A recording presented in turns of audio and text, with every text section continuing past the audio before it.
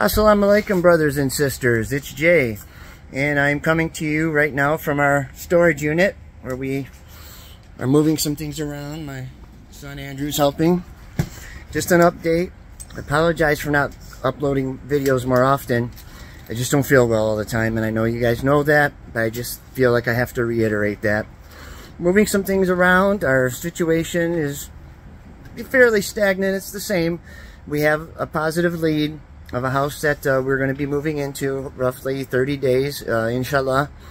If Allah is willing, by the grace of Allah, and um, moving some things over to a friend of mine's as well.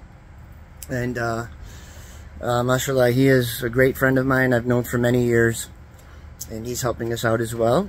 Um, just wanted to uh, touch base to say for the people who are still continuing to leave negative comments and hate, um, we might have to disable comments on our videos, which is pretty sad, but it is what it is. Uh, by the by the mercy and the grace of Allah, we are still here. We are still alive. You are still alive, hopefully, watching these videos, and uh, we get through this day by day. This is our life. This is what we meant to meant, meant to do.